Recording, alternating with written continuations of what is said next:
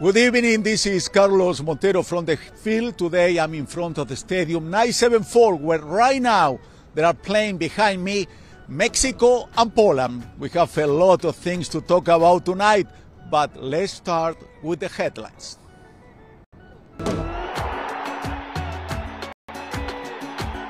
South America makes its debut in the World Cup with Argentina and Mexico playing their first games.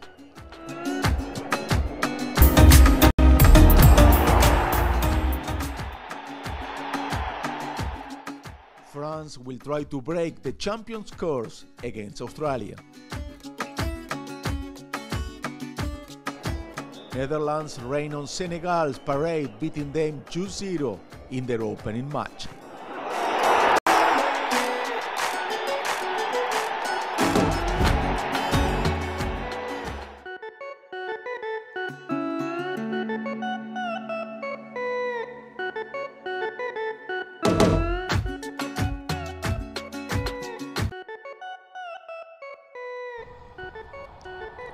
Like I was saying, what a day when we left this morning very, very early. Today they are playing four games. We never thought was going to happen. It was a history in the World Cup. One of the biggest upset. I would say it's the biggest upset. Argentina. Many people were saying they're going to be the champion. They lost. But what's happened when we left early this morning the hotel? Argentine people were celebrating. They were on the street chanting. And we registered that with the cameras.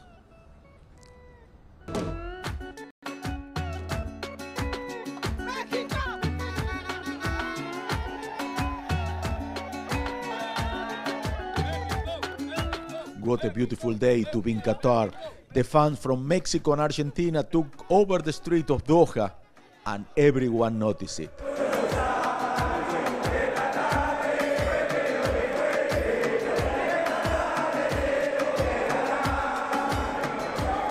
I feel very good, said yesterday Lionel Messi ahead of today's games against Saudi Arabia. That is what the 35,000 Argentines who traveled to Qatar wanted to hear.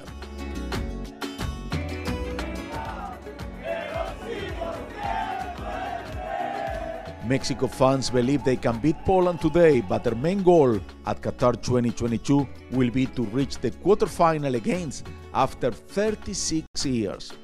Go England! Way! The first one, 'cause it's very fast. Uh, yeah. And then the second one actually, because it happened so fast after. Yesterday, Harry Kane, the captain of England, did not wear the OneLove armband at the World Cup due to the danger of receiving the yellow card. His team, nevertheless, easy beat Iran 6 2. Senegal lost against Netherlands 2 0. And Wales and USA tie with one goal each.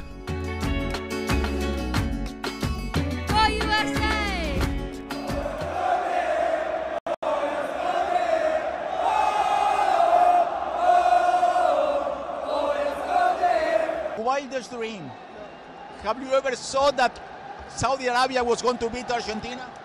Never. For me, But- yes. But for me, yes. Like all of us have the hope that our uh, our uh, country and our team will win. So definitely we have the, uh, we will hope, and we got it. But but why why Argentina plays so bad and Saudi Arabia plays so good and so strong with so much courage? We came with a strong heart that uh, here in Qatar is our home. So we are playing in the same uh, weather and the condition. Look, look around. Everywhere is supporting Saudi Arabia. You are playing like at home. Yeah, and by the way, the Argentina fans are amazing. But we are here, we came with a soul to, to win. Congratulations. Congratulations. Thank you so much. That was a great game from Saudi Arabia. Yes, Saudi Arabia's players. Second uh, half is uh, two, two and one for um, Argentina. I think it's uh, good players now. Great players. How far how far can you go in this World Cup? Maybe, maybe I, I hope, I hope to go Saudi World Cup. I hope to grant 60. I hope that. Congratulations. Thank you very much.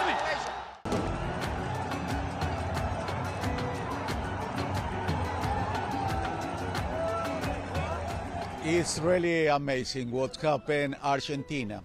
Lionel Messi was playing his fifth World Cup. Argentina has not lost the last 36 games. Argentina and Messi were ready to take the World Cup home. But so far, not good. Everybody loves Lionel Messi here, not only Argentine, people from Bangladesh, people from India. Why so many people love Lionel Messi? This is the answer. Lionel Messi debuted in FIFA World Cup in Germany 2006 and scored the sixth goal in the victory of Argentina over Serbia and Montenegro. That year, he was eliminated by the host in penalties in the quarterfinals. In South Africa 2010, Germany was the team that eliminated Argentina again. Messi on the field and Diego Armando Maradona on the bench could not do any damage to the German team and lost 4-0 in the same stage as four years before. Messi did not score a single goal in that tournament. Brazil 2014 was Messi's third attempt to win the World Cup and he came closer than ever. Messi scored four goals in the group stage to help Argentina advance to the qualifiers. They reached the final against Germany, and a late goal by Mario Götze in the 113th minute broke Messi's hopes of winning the World Cup. Messi's dream was still alive and Russia 2018 was the recent attempt to touch the glory again in a world tournament. Messi scored a goal against Nigeria and lost in the round of 16 to a brilliant group of young French players who would go on to become champions. In 2021, Argentina won the American Cup against Brazil and came the first important title for Messi with the national team. Also, they won the Finalissima over Italy, the reigning champion of Europe with a memorable performance by Messi itself and the whole team. The team directed by Lionel Scaloni arrives at Qatar FIFA World Cup with a streak of 36 games unbeaten and a real chance to win the trophy. Messi said that this would be his last World Cup and the last chance to make the dream a reality. And Messi talked after this awful game. What did he say? Messi said that I'm not going to disappoint all the Argentine people who trust me. We are going to do okay. This is the first match. I hope Messi is right because we love Messi. You know, I'm Argentine. Charlie Montero is also Argentine. And Charlie has the tough assignment to talk to Argentine fans and Saudi fans after the match. That's what they told him. Here we are outside the Lusail Stadium where Saudi Arabia just surprised Argentina by beating them 2 to 1. Here we are with a fan from Saudi Arabia to tell us a little bit more. Yeah, we won today. We were the better team and we expected this. I think Argentina did not uh, respect us enough. They thought they would win 5, 6, uh, 7 0. I think uh, this is a hard lesson for everyone in the group, including Poland and Mexico. Uh, this Saudi team is really strong, and uh, hopefully, we will go to the next uh, group stage.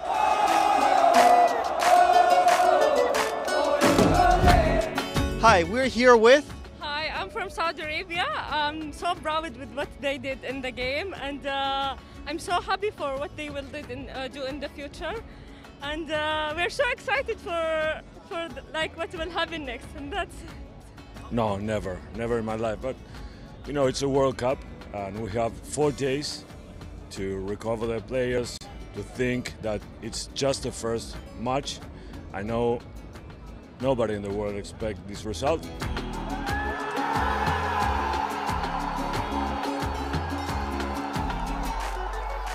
Today was historical uh, day for Saudi game. We did a lot today. Uh, really, today we beat one of the best team in the world. So now we are number one for this group, and we are going to lead. We are not going to take over. We will get. We will forget about this game. Now we forget for that one. We are going to prepare the second game for that to lead this group. Okay. So today is the historical day for us and everybody for who attending this uh, stadium. No, Messi. Saudi Arabia here. Messi Messi. Uh, he is uh, the best player in the history with Diego Maradona, and he can play good, bad, or today he's he don't have the his best match, but he's a great player and he's gonna be very good uh, to play against Mexico.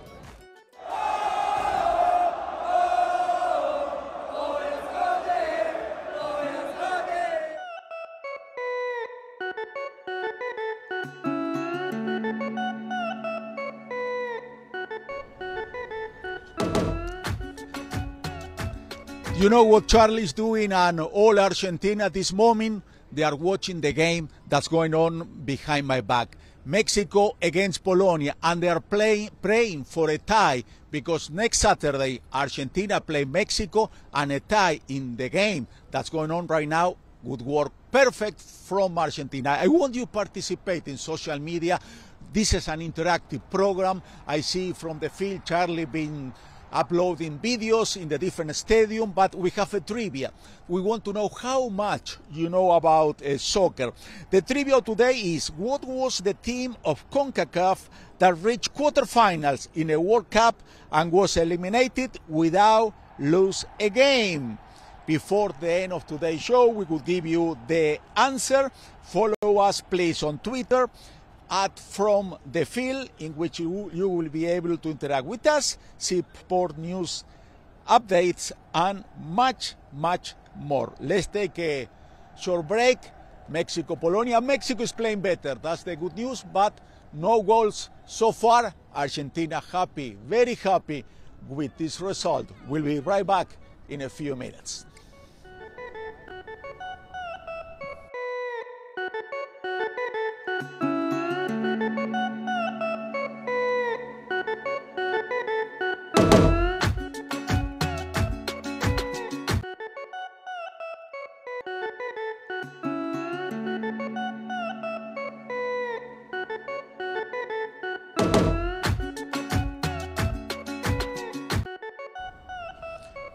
What a wonderful day. This is Carlos Montero from the field.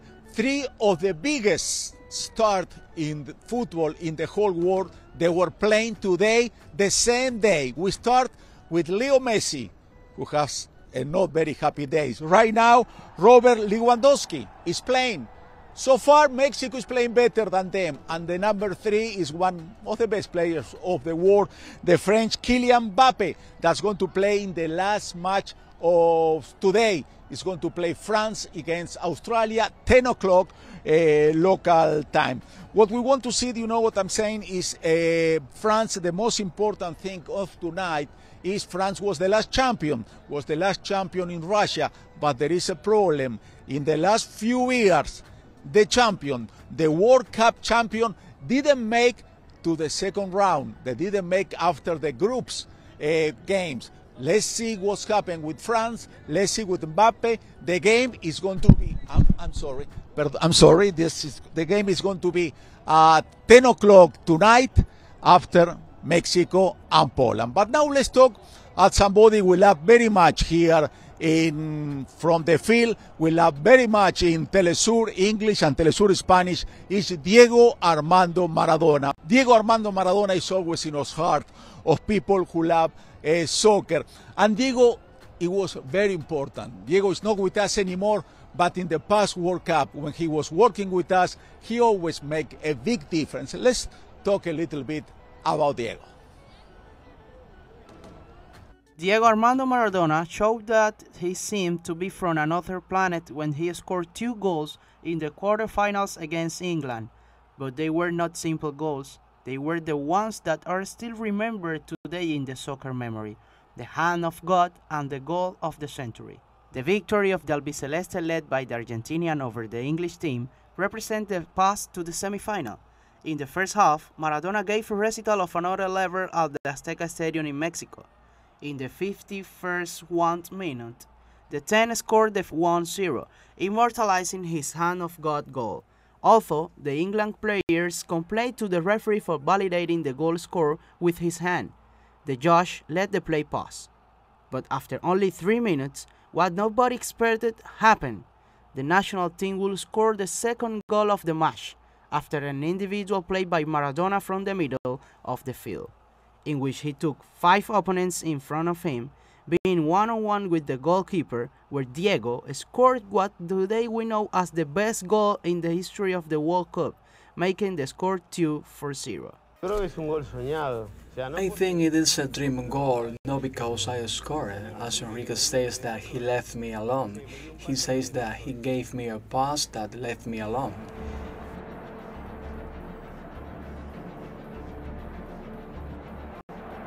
Me la daba lejos del arco. He gives to me far from the goal. I have the look to face and see the English players that couldn't catch me.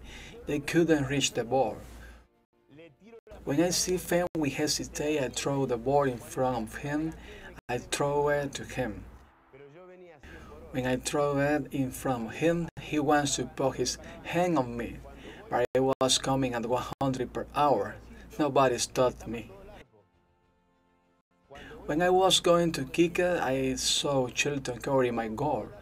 Then I fade and play short and Shilton is lying on the floor and I it and I feel a kick from Butcher on the right ankle which broke my ankle but the joy of the goal was so great that it didn't hurt me. Despite Gary Lineker's goal at 81, the English could not equalize the score and the team led by Diego Armando Maradona took the victory. This result allowed the Albiceleste to take an important step in the World Cup, that later allowed them to be proclaimed champions in Aztec lands. Two victories against the British were Maradona's other great feat in that World Cup and should be remembered. It was the first match against the most important team in the United Kingdom after the Falklands War, a reason why some saw the sporting encounter as a revenge for the Argentine defeat in the war conflict. Uh, can you hear what's going on behind me? This game is really exciting. Was a penalty kick and Mexico didn't make it. It's the mano de Diego, the hand of Diego Maradona who saved it because Diego, I'm sure he wants that this game end with a tie. I have another story before going to the break. Uh, Saudi Arabia, the government, tomorrow declare a national date of celebration. Of course, they did something amazing in this World Cup, and tomorrow they are going to celebrate. Argentine people, we are going to cry. There is nothing to do. This is sport. Somebody wins, somebody lose. We'll be right back with more here from the field.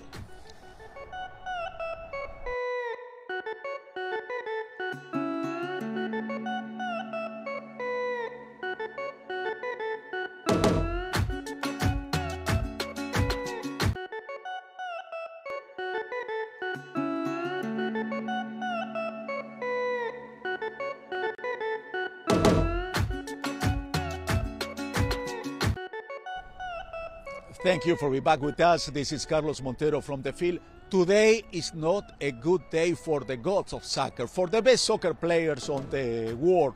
Messi has an awful uh, game this morning. Now Lewandowski behind me missed a penalty kick. Ochoa, the goalkeeper from Mexico, saved the day for Mexico and the game still a tie. Poland zero, Mexico zero. But Lewandowski, Messi, there are so many other stars in this World Cup, Qatar 2022. Let's see some of them. We will start with Almoez Ali, the striker of the host country, who is the first and only player to score in three different continental tournaments. His performance will be the key to Qatar's chances in the World Cup. In a Group A itself, players like Pervis Estupiñán, Gonzalo Plata, Carlos Gruezo, Byron Castillo, and Moises Caicedo stand out for Ecuador. For Senegal, Sadio Mane steals all the limelight, while for the Netherlands, men like Matthijs de Ligt, Virgil van Dijk, Memphis Depay, and Frenkie de Jong do the same. The top 10 in Group B, England, has Mason Mount, Phil Foden, Raheem Sterling, Declan Rice, Trent Alexander-Arnold, Jadon Sancho, and its top scorer, Harry Kane. In the same group, the leading scorer in the Portuguese league, Mehdi Taremi, wears the Iran jersey. In turn, Christian Pulisic stands out for the US and Gareth Bale for Wales. In Section C, Lionel Messi leads Argentina, while Irving Lozano and Robert Lewandowski do the same for Mexico and Poland, respectively, while Saleh Al-Shehri is the main attack weapon of the Saudi Arabian team. For the current champions, Karim Benzema and Kylian Mbappe stand out, whose quality can lead France to its third World Cup. For Australia, the UEFA Europa League champion with Eintracht Frankfurt, Ajdin Hrustic, is the star, while Christian Eriksen supports a very competitive Denmark. In Spain, there is Pedri. In Costa Rica, the former Real Madrid goalkeeper Keylor Navas, while in Germany, several players stand out, such as Manuel Neuer, Thomas Müller, Serge Gnabry, and Leroy Sané, while in Japan, Minamino is emerging as the Nipponese top star. One of the best midfielders in the world today will be in charge of goals and assists for Belgium. Kevin De Bruyne, who is a key member of the team, Alphonso Davies, who represents Canada, is one of the best fullbacks in the world, as is Achraf Hakimi, the leader of Morocco. Croatian aspirations are based on their captain Luka Modric, while in Brazil, figures such as Marquinhos, Thiago Silva, Lucas Paquetá, Rafinha, Neymar, and Vinicius Jr. stand out. In the Brazilian group, there will also be Dusan Vlahovic, who will lead the Serbians. Finally, Portugal has the top scorer in the history of football, Cristiano Ronaldo, while in Uruguay, the gunslingers Darwin Núñez and Luis Suarez will lead the Celeste. Heung-min Son, for his part, will try to support and direct the game of South Korea.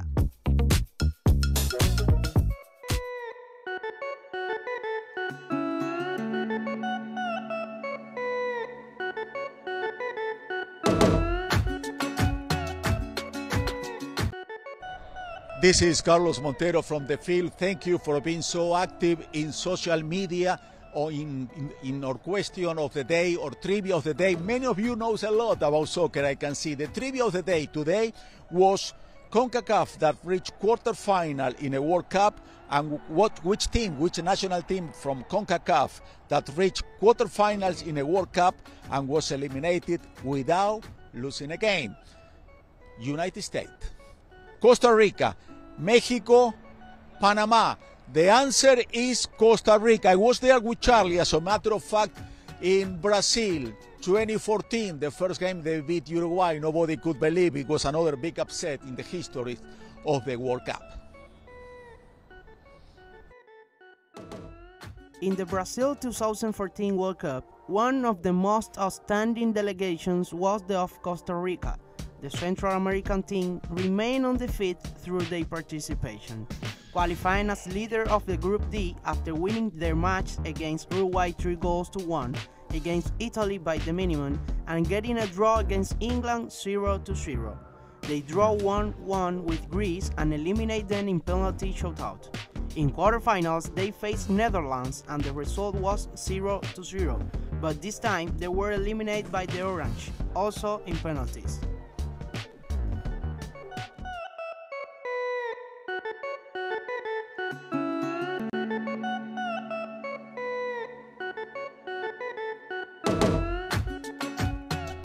We have another trivia that's a little bit more difficult. I have to do some research. Uh, which of these players were absent from a World Cup being a current gold ball?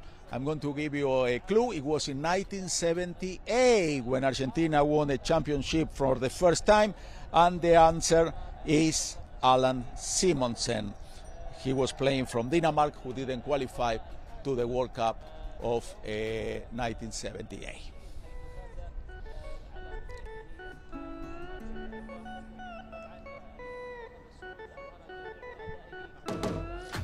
Okay, and what's going on tomorrow? We are going to have also four exciting games. Let's see which one. Croatia, led by Luka Modric, will open the journal of the Group F when they face Morocco. Later, Germany will clash with Japan and Spain against Costa Rica. These two matches as part of the Group E calendar. The last game of the day will be Belgium versus Canada, in which the first round of the Group F will close. This is all the time we have, but before saying goodbye, Mexico Poland right now is going a tie 0 0, And then we are going to see the match of Australia against France. Thank you very much. Have a wonderful night. This is Carlos Montero from the field here in Doha, Qatar.